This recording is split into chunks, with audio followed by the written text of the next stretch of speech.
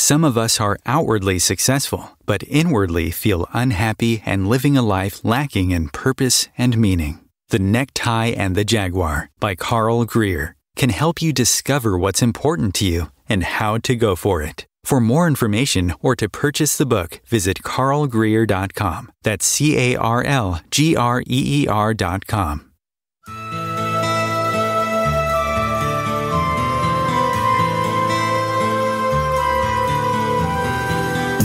Welcome to What is Going Om for new thought from the edge of Om.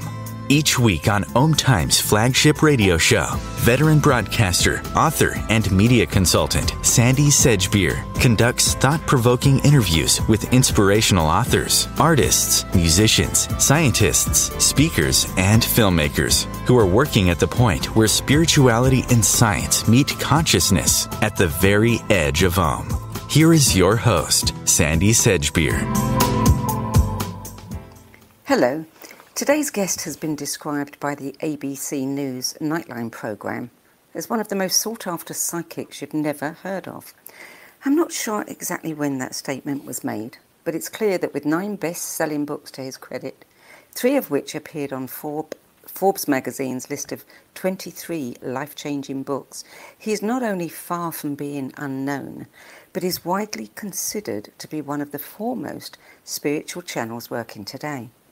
Paul Selig is a psychic medium and an award winning author of transformational channeled literature, which includes the books I Am the Word, The Book of Mastery, and the Beyond the Known trilogy, in which he's recorded an extraordinary program for personal and planetary evolution as humankind awakens to its own divine nature a noted academic, playwright, and educator who served on the faculty of NYU for over 25 years, and former director of the MFA in Creative Writing program at Goddard College. Paul Selig's work has been featured on ABC News Nightline, Fox News, the biography channels The Unexplained, and Gaiam TV's Beyond Belief. Paul Selig joins me now to talk about his latest book, The Kingdom which is the third and final volume in his Beyond the Known trilogy. Paul Selig, welcome. Thanks for having me. So, nine books in 11 years, that's quite a feat. And the latest, mm-hmm. The Kingdom, was channeled and produced during COVID. Did the mm-hmm. restrictions uh, and the chaos of the pandemic make it easier for you to channel and produce the book or more challenging? Well, the books are done live. You know, uh, they're all spoken into being. There's really no writing involved. And I think the, the five books prior to that were all, maybe more, were dictated in front of live audiences on the road. You know, some in live streams, but primarily they were dictated, you know, before students in workshops, um, you know, around the country and around the world. So with COVID, I couldn't travel. I um, actually was rerouted. I was doing a retreat in Costa Rica, where New York City, where I had lived, was shut down, was in lockdown, and I ended up on Maui. And I ended up convening a small group that met online in a Zoom room, and I dictated the majority of the book to them, and some of the other parts of the book were dictated during, you know, live live streams with you know hundreds and hundreds of students online. Um, so it wasn't that it was harder; it was just different, and it was different once again to be speaking a book into being pretty much every day, um, which is how that worked. We met almost every day, and the guides would deliver a lecture or two for the book, and um, and then the book was done in a very short amount of time. So, as a playwright and director of creative writing program, do you not feel that you, oh, you just want to get in there and tweak things a little bit? Well, I can't. I mean, that's the deal with this stuff. You know, my name appears on the cover, but I'm not the author. And the agreement that was made with my first editor and publisher was that nothing would be changed. And I think in any of the books, maybe three words or so or changed because I either mispronounced them or I added an S to a word that shouldn't have been pluralized because I was speaking so fast. Uh, fortunately, you know, I whisper the words and then repeat them, and we can always get the right word, you know, by listening closely if there's a discrepancy. But the books are unedited. I mean, this is what comes out of my mouth. I feel that if it were edited, it wouldn't be a channeled book. It would be, you know, a book that was fixed up, you know, and mm. made palpable. And it's not my book to do that with, and that's how it stands. I think occasionally, you know, some of the sentence structures are awkward and long and you know would i want to go back and, and clean it up then it wouldn't be the guide's book you know and yeah. i think given the fact that these books are spoken they're they're kind of amazingly readable when you think that there was no writing involved and somebody just closed their eyes and talked these whole things through in front of people um, they hold up quite well mm. So, the first two books in the Beyond the Known series urged readers to step beyond their own understanding and enter into the transformational work. Tell us what the third and final book in this trilogy, The Kingdom, offers to the reader. Well, the kingdom is about sort of relocating consciousness to what they call the upper room, which they say is a, a level of vibration or tone that exists parallel to the one that we're operating in in our daily lives. So the guides say, you know, you can sing any song in, in multiple octaves. And what they're doing with us really through this trilogy is transposing the music that we are, the tone or vibration that we hold to play in a higher way. The kingdom is about the realization of the inherent divine in all things and all matter. And um, that's really where they're taking the reader, really towards embodiment, you know, at a different level of consciousness than we've been sort of known that we had access to. So, how does one get there? I mean, what does one have to do? The guides work with attunements, um, which they've done from the very beginning, since the very first book, I Am the Word, and which was dictated in 2009. And before that, in the groups that you know I would facilitate in my apartment, I was an academic, but I was channeling in my apartment once a week for about 18 years, you know, in front of a small group. So the attunements, they say, are language that's encoded with vibration, and the invocation of the attunements, which are usually physically quite palpable for people when they work with them, are really here to support us in operating at a higher level of vibration or consciousness. For years, the guides used to say it was about being, the teachings were about being in accord, and they'd say A C C O R D or A C H O R D is on a piano and I got it sort of metaphorically, but I didn't understand that what they were talking about was really quite literal. And they talk about the attunements, the varying attunements, as notes being played on a piano. And when the notes are played in simultaneity, in, in, in, in one invocation, when they're all sort of aligned to, that is the chord of resonance that allows the consciousness to, to really shift. So they say it's an incremental process, and I, I suspect, if I'm right, that you know in all of the books they're taking us towards a, a sense of integration and, and, completion, you know, with this teaching. But this is what they do. It's really the entirety of the teaching is this level of, of transposition. The individual claims of truth, you can be working with personally or in a group. When I would do workshops, we'd work with them all and you can feel the energy of them and you can send the energy and your partner can feel it when it's sent. And so once all of these things are played out you move to a much larger recognition and, the kingdom. The claim is god is god is god is. The guides that i work with say that the only real problem humanity faces now is what they call the denial of the divine you know which is basically an alignment to fear and they say, you know, you can't make anything holy. It already is holy, but you can deny the divine in whatever you want and whatever you see. And the level of reality that we've been reared in, grown accustomed to, or consequently are in co-resonance with is, is pretty much, I would suggest, imbued with fear. You know, it was here when we got here and we expect it.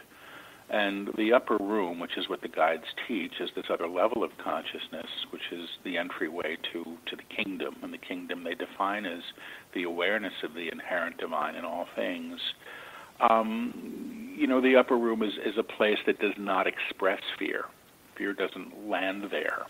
Mm-hmm. So hmm. when you move there in vibration, suddenly your choices are different because you're not operating out of the old inherited paradigm. Hmm. The guides talk a lot about the true self. Um, many mm-hmm. people think, yeah. you know, what does that mean? I, you know, I yeah. know who I am. Um, mm-hmm. Explain what they mean by the true self. My understanding of the true self is that it's the personality construct. Really, that's it. And the personality construct is sort of born in agreement to what it has learned. You know, it's it, it doesn't really comprehend the new. It knows what it's known, or it knows everything through the lens of history. The true self, they suggest, I think, is the divine self or the monad, which is the, the light within, or you can call it, sometimes they call it the Christ, they often call it the monad. But they say there's a name for it in every religion, but it's not a religious term. So the realization of the monad, or sort of this encounter with the inherent divine that they say is seeking to realize itself through us, is the true self. Now, the personality structure still has a place, it gets assumed by the higher. You know, we just sort of think that who we are is the personality, whereas that's kind of like the sweater that we wear that we mistake for you know, the who that we are. When I was quite young, when I was in my early 30s and I was struggling, I heard something in Channel, which was when I was just really first opening up to hear, and I, I'm 99% sure I, I, I heard it in Channel because I wrote it down and left it in a book. But I heard freedom will come when the throne relinquishes its king, and I just didn't understand it. But I understand it now because it's sort of the essence of the teaching which is who sits in the throne, who's ruling, what level of consciousness is ruling the reality that we attend to. And if it's my personality self, the small self, I want what I want when I want it. I'm going to do the best I can, but I really don't see past this idea of self that has actually been born in separation and separation to the source of all things. The divine self, or the true self, they say, knows itself in tandem or in consort with whatever you want to call God, you know, source, energy, whatever that may be. The true self knows, they say, and the small self thinks. And there's nothing wrong with thinking, and the small self has a place. We've just mistaken it for who and what we truly are. And in fact, they say we're infinitely greater than that. What, one thing that no one has ever been able to help me understand is that mm-hmm. if we are all sparks part of the divine. If our true selves know unity in its fullest expression, why would we want to come here and experience separation and division? Well, I think what I understand about this is that we did this. We created this separation. This is what we chose. You know, we did it. And we did it through the inherent denial of the divine, you know, which was a belief that our needs weren't going to be met and that there wouldn't be enough. And if I don't get it from my neighbor, I'm never going to get it at all. So I can, you know, do what I have to to get my needs met. So all of those things are born in separation. The guides I work with say, you know, this is opportunity still, it's school still, but there are other ways to learn. And I do believe that the soul progresses. This is something that they've talked about somewhat in the books but that the soul is in progression. The divine self or the monad is speaking to itself only in the present moment because it knows itself in the present moment. God is all things but operates beyond time, you know. So when we begin to move to that place, you're talking about the illumination of the soul and the, I would say, the the aligning of the personality structure in a higher way. I don't know that it's the death of the ego or the personality self as much as it is perhaps a restructuring and putting no longer putting the cart before the horse.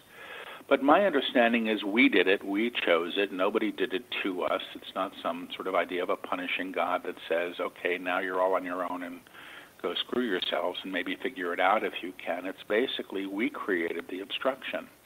And because it's our creation, our decision to war, our decision to operate in fear and division because we've chosen that we get to move beyond that. That's our that's our call. And the guides i work with are i hope helping us to do that. I mean that's what it certainly appears like. So that makes sense to me. I mean it's never made sense that you know we, we need to be in school because if we are, if we have the divine within us, we don't need school. But what you've said that we chose it is a whole other thing, which also means that we can unchoose it. We can choose Yeah. something else. Yeah. Exactly. Some some of your guides have said that they have been um, incarnated and some have Mm-hmm. not. So presumably the ones that have been incarnated have reached a place where they have been able to choose differently.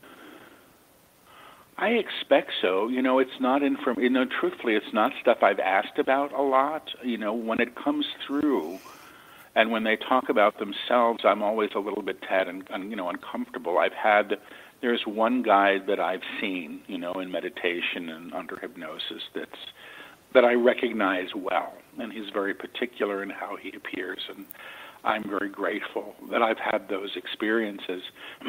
Others, uh, you know, I I'm primarily a clairaudient. I'm primarily hearing and clairsentient. I'm primarily feeling. When I get visual information, I'm always interested because that's not the first thing that really began appearing for me in my work. It came a bit later.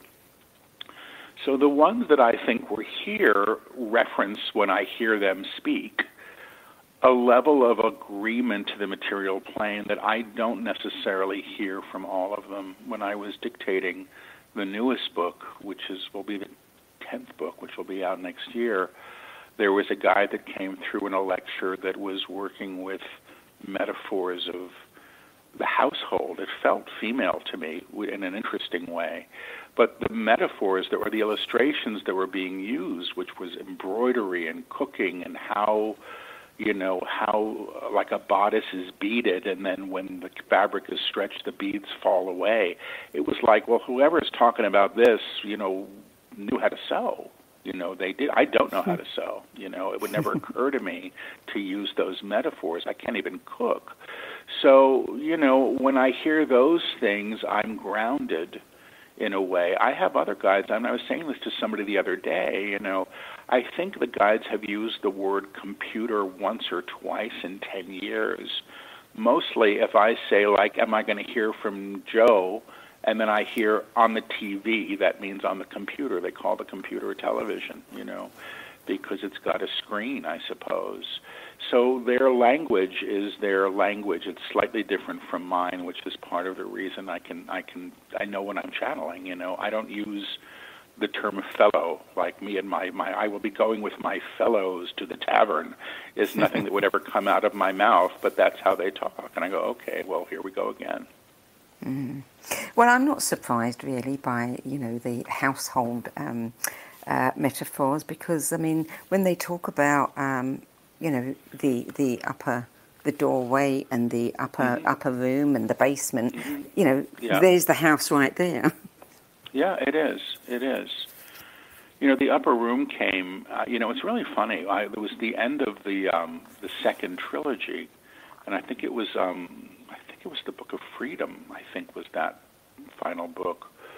And you know, at the end of that book, they invited all of the. Re- I was channeling at the Esalen Institute in California when that was being dictated, and they said, you know, they invited all the students to to come across a threshold, and like there was all this joy, you oh, know, you know, prepare for your new lives. Here it is, come across the threshold. And I thought, what? That was a lovely ending for a book, but I didn't know what the hell they were talking about.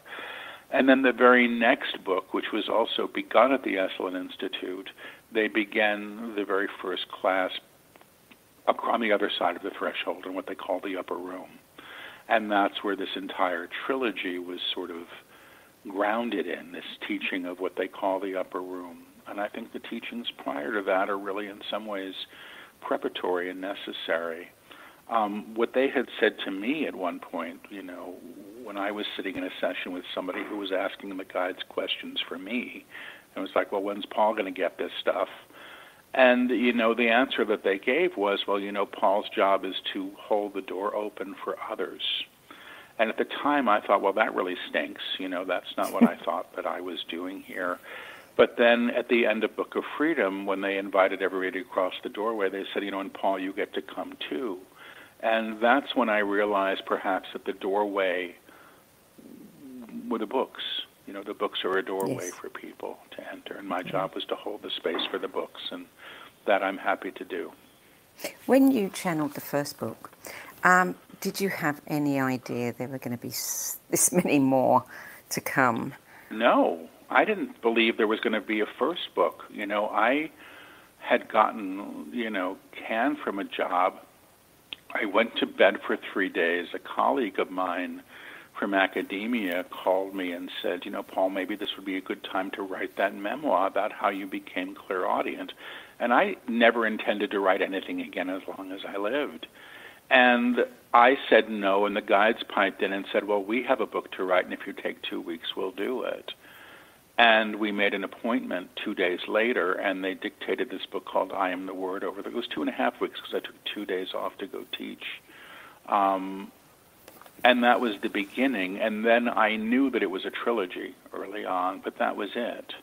Um, and every time they finished a book, I thought, well, there's nothing else for them to teach. We must be done. And then there's more. Um, so I've sort of given up on limiting them. Um, I think when the first book was dictated, I just didn't care. You know, I just had my ego quashed. I had time on my hands that I hadn't expected to have, and um, and I didn't care what people thought. So I sat down and I took the dictation. It's funny, you know, I didn't have a beard when the first book started, and I had a beard by the end of the two weeks, and I've had the beard ever since. It's, and I just didn't shave, you know. So I look at it as a real marker in my life when these books begin to come, because they're they've come quickly, but they don't take that long to dictate. You know, the first book was two and a half weeks. Most of the books now are a couple of months, because I don't channel every day. This last book I channeled every day. I think it was about five weeks maybe total four or five weeks of dictation sessions because I worked most days. But the first books I did would sit for an hour or two hours at a time, and I would be I would barely be able to get out of a chair after that. I'd be staggering around the room. You know, hmm. in retrospect, I don't know how I, because the book channelings are far more intense than just doing a workshop.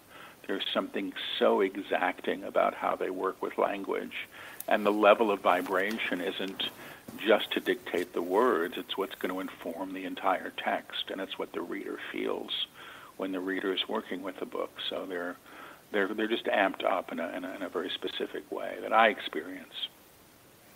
Do you, when you are channeling the books, do you feel the frequency, the vibration coming through you, and do you remember what you've said? Mm-hmm. I do feel the energy. Um, I'm used to it, so if it's really strong or if they're doing something different with it, I'm aware of that. I prefer to work in workshops with people in the room because then you can feel all the energy shifting and you can feel the attunements when they're invoked and how, you know, the whole room shifts and everybody can feel. It's exciting. People that have never felt energy before can feel this stuff. So I like that, but when I'm channeling online, yeah, I still feel the shifts.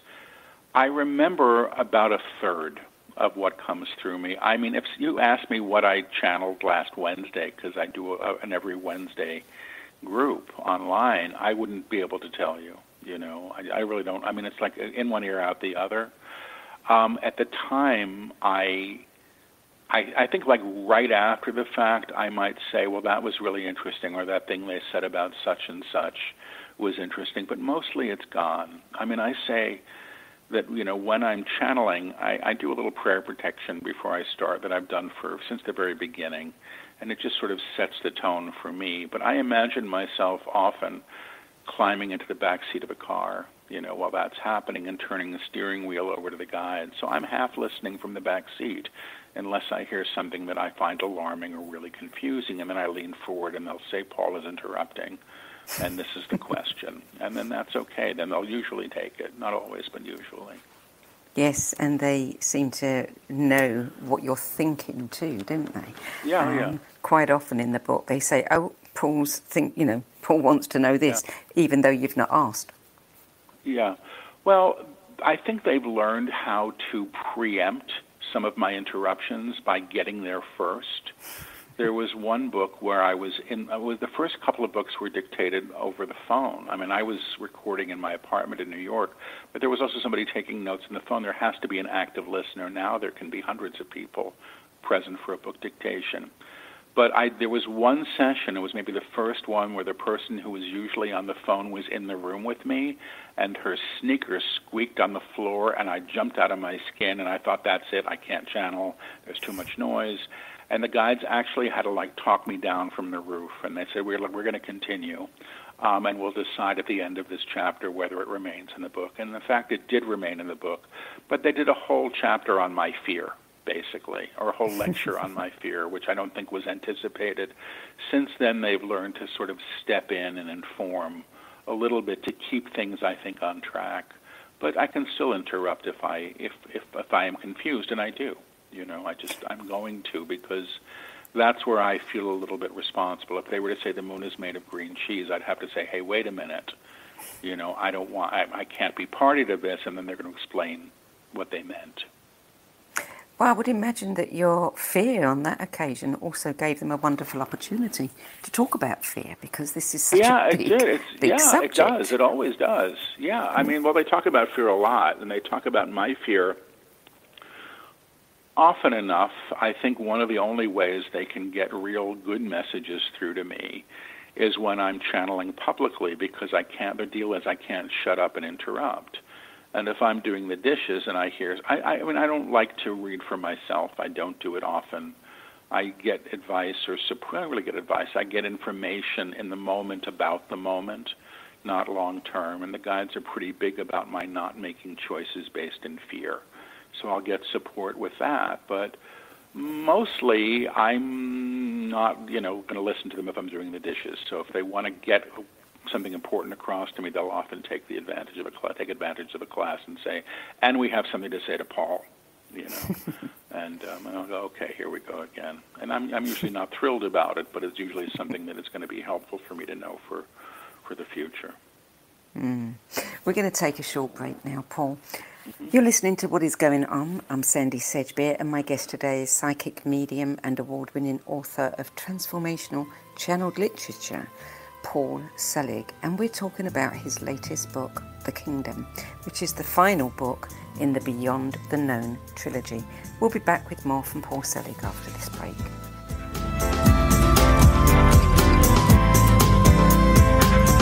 The future of Internet radio is here.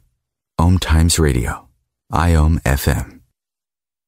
Being a radio host on IOM FM allows you to build your show on a rich platform with the power of the internet to fulfill your outreach goals and connect with a very specialized and global online audience, unlimited by time and distance. Om Times Radio will provide you with web relevance, a recognizable conscious brand, and with the standard of excellence that has accompanied every single Om Times endeavor. Host your show with Om Times Radio Network.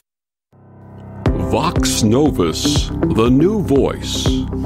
Vox Novus, the new dimension.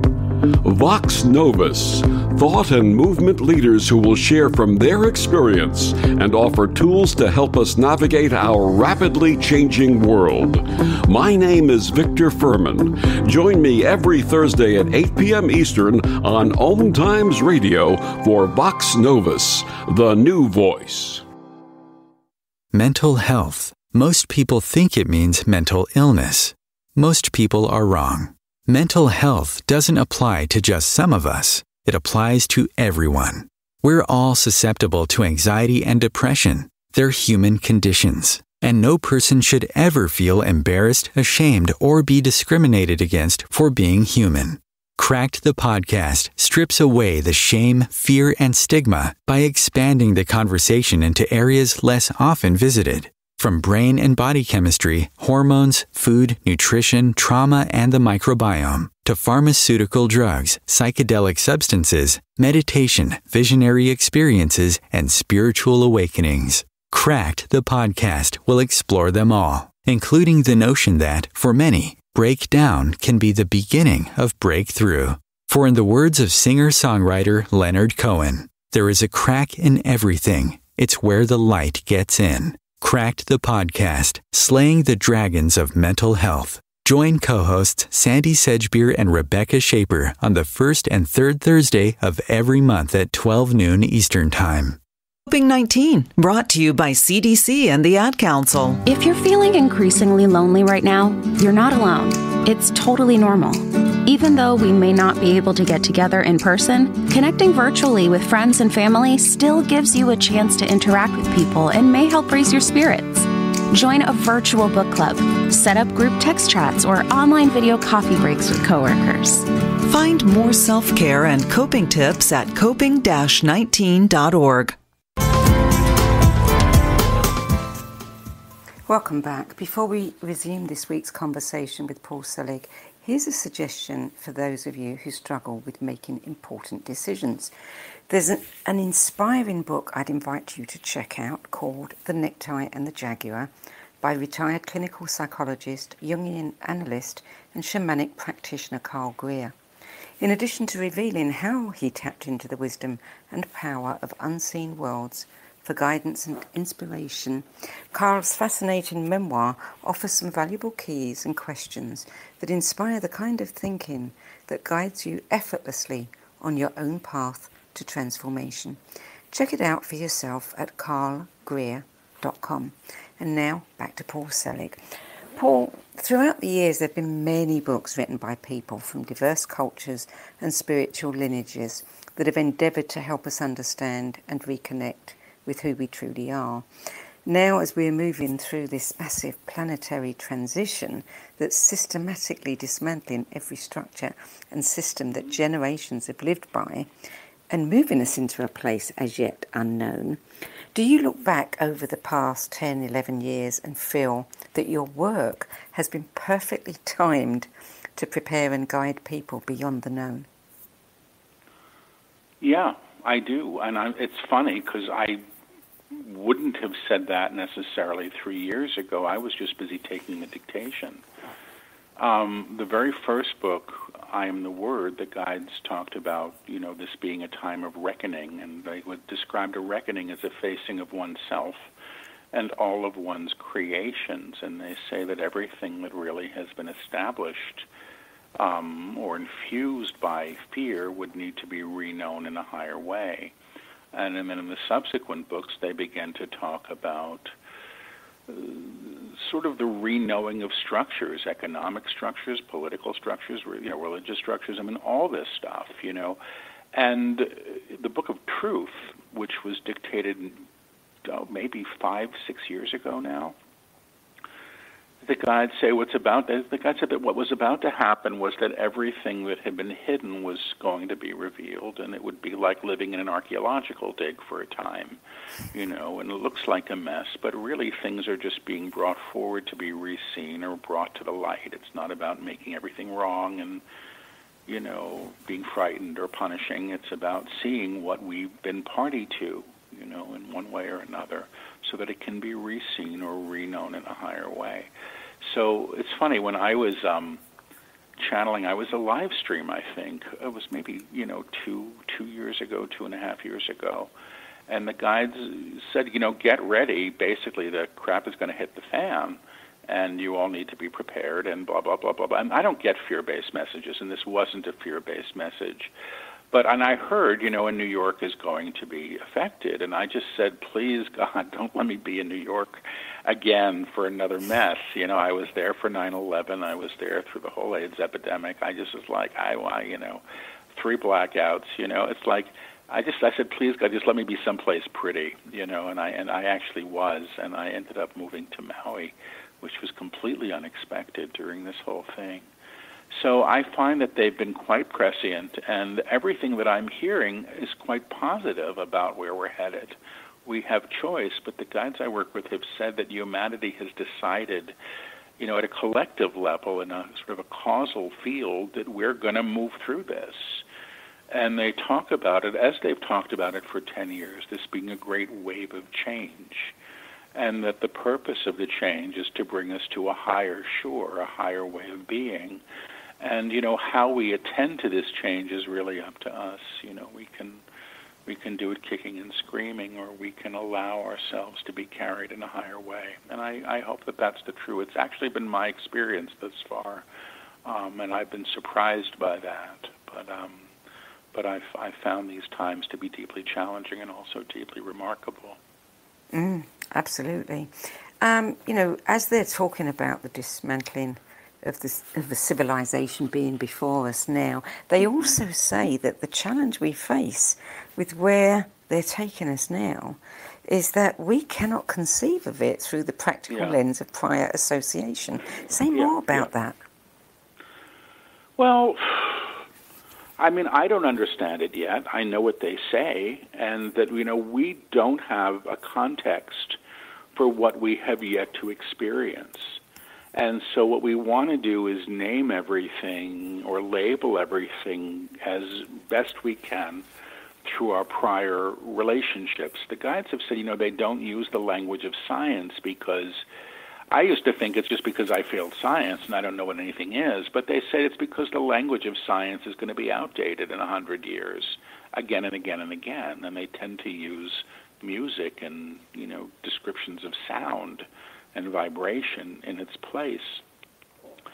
So my understanding thus far is that we're moving to a level of consciousness where we're no longer operating through the lens of fear and separation but I also get that this is something that takes a few generations to occur. I don't know that one day we're going to wake up in nirvana. I'd be shocked.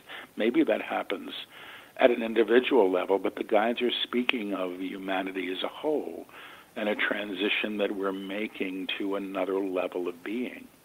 And, uh, you know, everything that I hear feels incredibly hopeful it doesn't always feel possible to me at a level of monkey mind because I don't have reference for it. But, you know, even they say, you know, our ideas of source or God or whatever you want to call it are still so uh, fraud or codified by the things that we've been taught it to be, you know, um, an old man on a cloud or an impartial energy or anything, you know, it's a way of understanding it. And they say you can't understand the vastness of God, but you know, you can have an experience of it. They say you'll never understand the entirety of the ocean, but the moment you bathe in the ocean, you know the ocean. You know it, you've had an experience of it. And that seems to be where they're taking us at an experiential level. I know that in my own case, you know, my practice as a psychic is primarily telepathic. I tune into people, mostly the living. So if you're estranged from your sister, I can tune into your sister. I might start to resemble her. And I can hear her and I can broker a conversation at a higher level. and it's interesting, I've been filmed doing this with people that I've never met and sort of taking on their mannerisms. But this is something that would have been completely impossible for me given who I was and kind of how I was raised. I was raised pretty much an atheist. Um, and I was, you know, I'm still not very woo-woo. I'm not a good New Ager. I want practical experience that I can yeah. know. I'm with you. I don't want to, I don't want somebody waving a crystal wand over my head and telling me I'm fixed. Yeah, it doesn't work.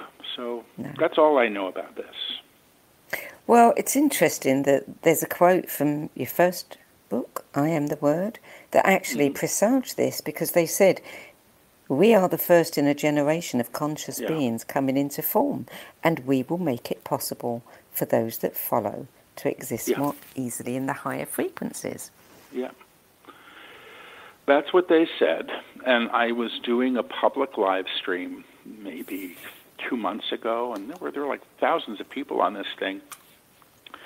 And the guide said, I don't know, somebody must have asked a question, or maybe it was in the lecture, and they said it's going to take, you know, I, don't remember, they said three or four generations for this to be realized.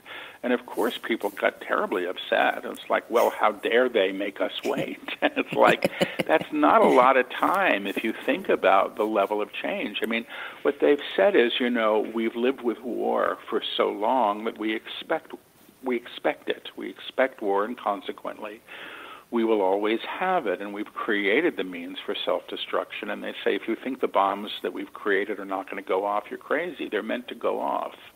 I mean, the idea that we can build a bomb to preserve peace, they think is lunacy. But they've said, you know, that um, what was I about to say? Oh, yeah, until we move to a level of consciousness where war is not an option, we'll have it. And I think that's where they're taking us. But that's consciousness, you know. If it's not, if you still feel that you need to steal to get your needs met or hoard to be safe, you're going to do those things until mm. you move to a level of consciousness where those things aren't required. Probably you'll act out on them.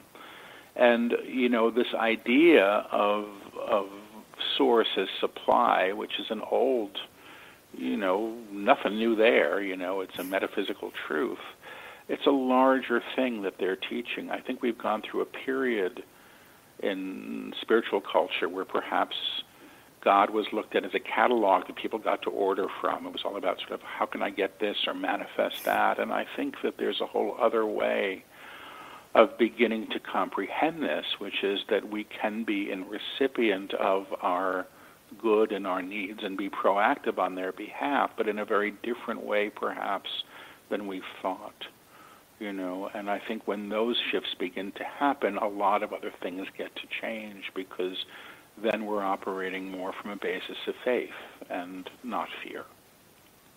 But they also say that this is not the first time that humanity has reconciled Yeah. to be lifted, and it won't be the last. So why, if if we reach that place where we, you know, move into the unknown, and it is more than we can possibly imagine, and there is no fear, why do we keep needing to be lifted?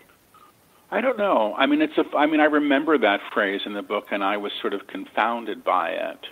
You know, people have talked about cultures that have ascended. You know, individual cultures that have have have moved beyond this sort of dimensional reality. And you know, that's not that's not my stuff. I don't know about that stuff. I'm actually not a scholar with any of this. Um, so I'm gonna I'm gonna ask them and see if I get anything. But I I wasn't expecting to channel. I'm on my second cup of coffee. It's early here in Hawaii. Still, let me just see if I can hear anything we would like to answer. They're saying we would like to answer this.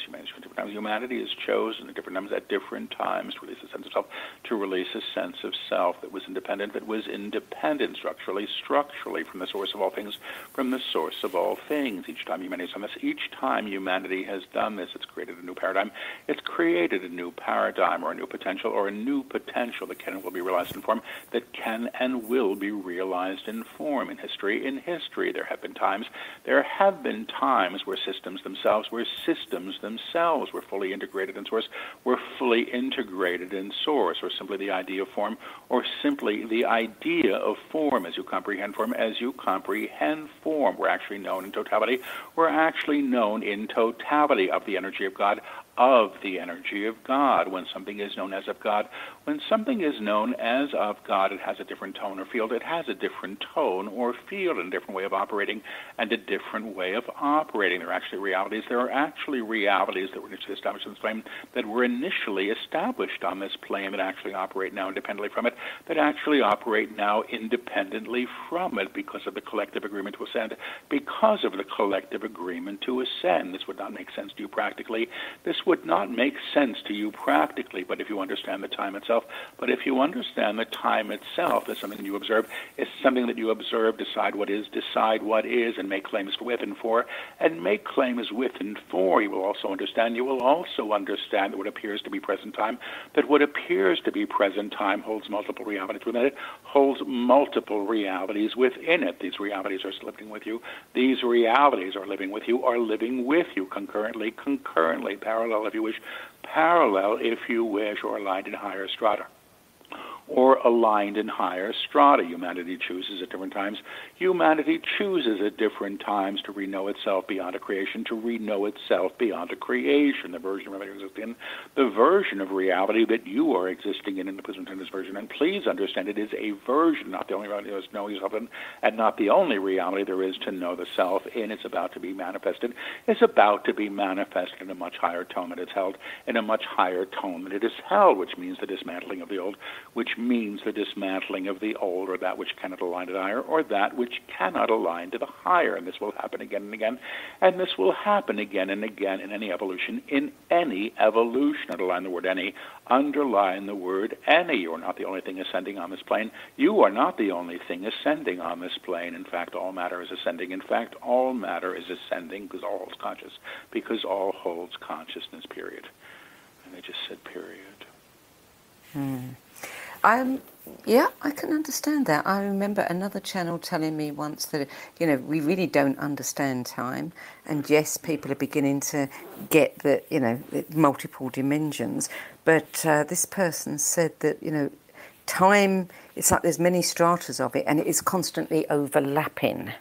It's like mm-hmm. waves of overlapping. So I can see why. That's interesting, yeah.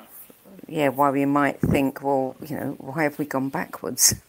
Mm-hmm. We're just in another, uh, I imagine, another lap of that time. So, what do they say then about the future of humanity? Presumably, then we're going to choose to to do this. We're going to choose yeah, to. That's what I hear. I don't know that it's necessarily going to be pretty along the way.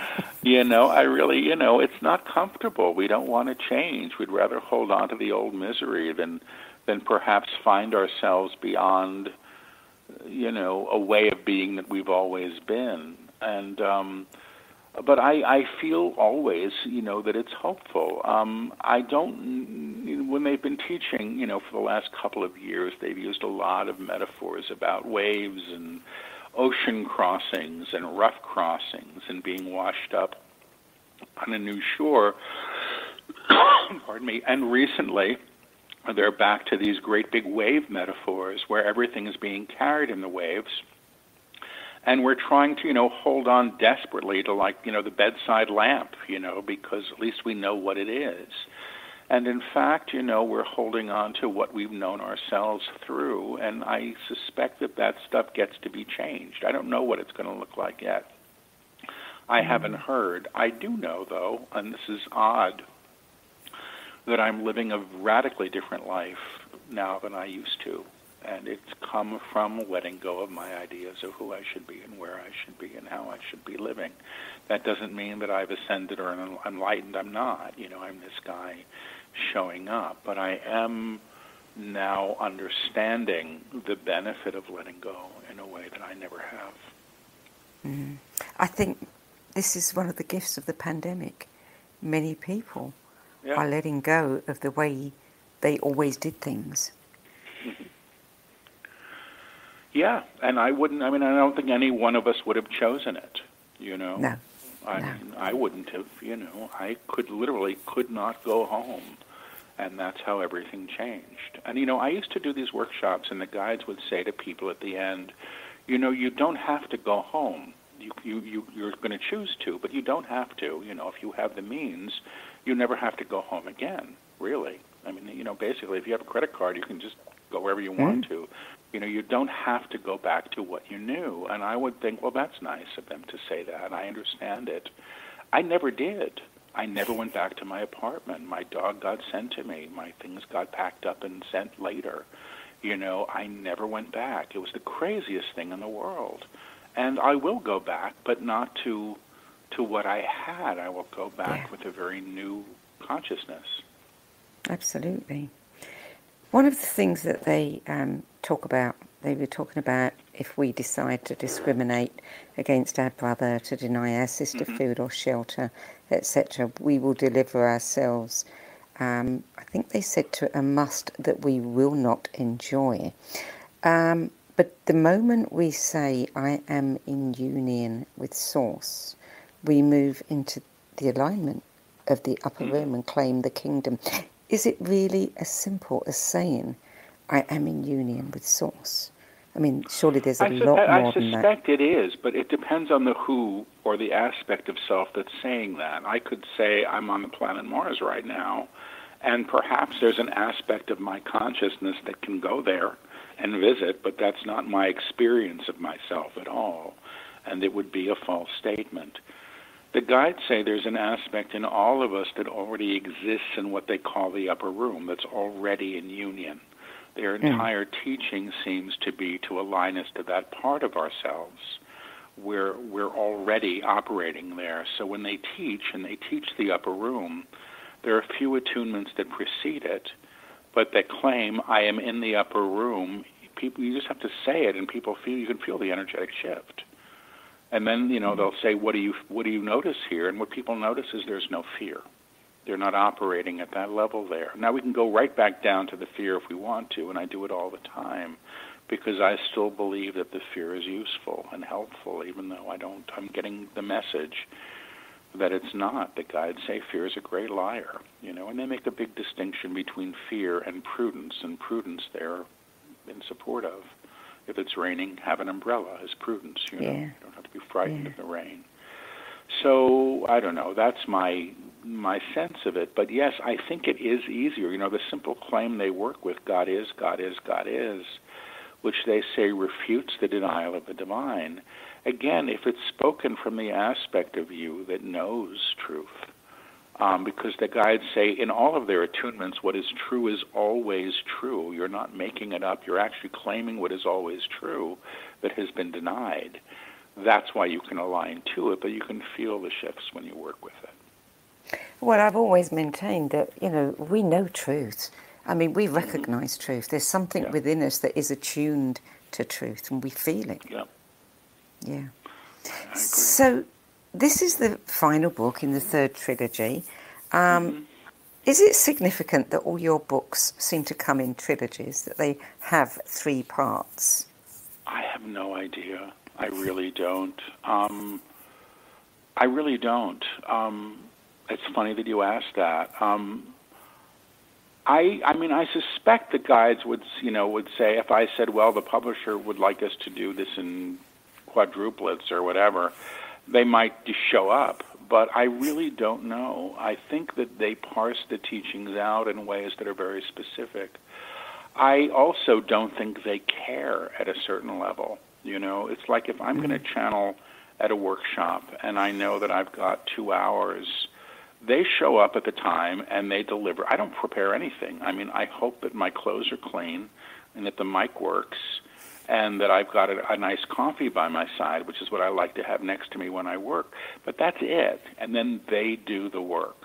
So they work within the structures that we have here, you know, and they're they're they're aware of how long I can work.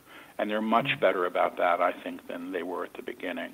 Like they'll usually stop me at half an hour. Sometimes I'll go to 40 minutes because it's too taxing, and then I can you know take 10 minutes and come back and and reboot. So I I don't know, but I know there's another trilogy. I've agreed to it, you know, and okay. they've already delivered the first book. Yeah. Can you tell us anything about that book? It's called Resurrection. Um, I think it's different from the other books. I was kind of fascinated by it when it was happening, it was done really fast. And the guide said it was done really fast because that was the best way to override my resistance. So it was done in a live workshop. A little, I convened a group of, of, of senior students for a little retreat here on, on Maui, and everything else was done online or in this group of a group of like seven people that were there for the kingdom, for the dictation, came back and were there for this book. It's called Resurrection. Uh, it's about embodiment. That's the best way I can explain it, but it's way out there. I mean, I was sort of dropping my jaw about some of the things that they were starting to address. But I, you know, fortunately, I don't remember most of it. when I get the copy edited version back from the publisher, I'll have to sit down and really read it, which is often when I really read the books.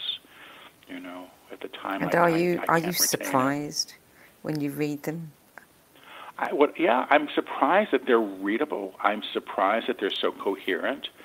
You know, and whenever I used to sort of question this stuff, you know, I was I, I find out, you know, I don't care how eloquent I may be, I don't think I'm capable of closing my eyes and dictating nine books that don't require any editing in front of people. You know, I just think it's nuts. But I find that fascinating about it, and they're wonderfully responsible at that level. I mean, if I were to show up and nothing were to happen, I don't know that I would ever be able to do it again. I'd be too worried. so, yeah, I'm I'm I'm always surprised by this.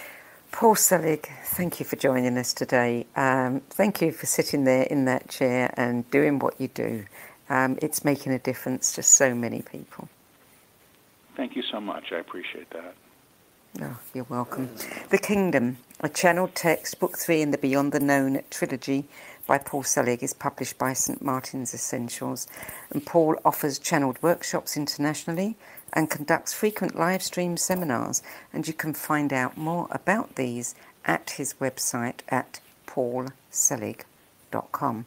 For more information about the No BS Spiritual Book Club and our live streaming interviews with contributors, visit sedgbeer.com, click on the No BS Spiritual Book Club tab, where you can sign up to be the first to see the latest 10 best lists and who's being interviewed next. And if you know you have a book in you but don't know where to start, click on the Work With Me tab and find out how my experience helping others tell their stories might be the catalyst you've been looking for. I'll be back at the same time next week with another edition of What is Going On. Till then, it's goodbye from me.